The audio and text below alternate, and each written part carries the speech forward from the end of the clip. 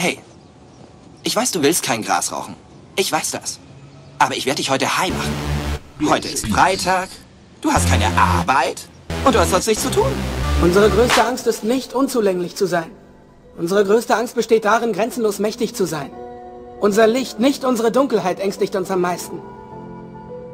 Es dient der Welt nicht, wenn du dich klein machst. Dich klein zu machen, nur damit sich andere um dich nicht unsicher fühlen, hat nichts Erleuchtetes.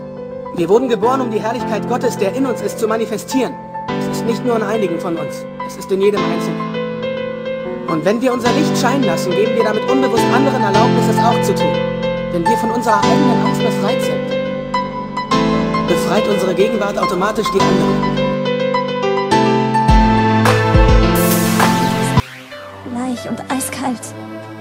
Deine Augen wechseln die Farbe. Und manchmal sprichst du als, du aus einer anderen Zeit.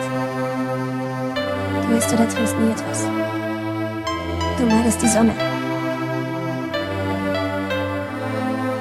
Wie alt bist du?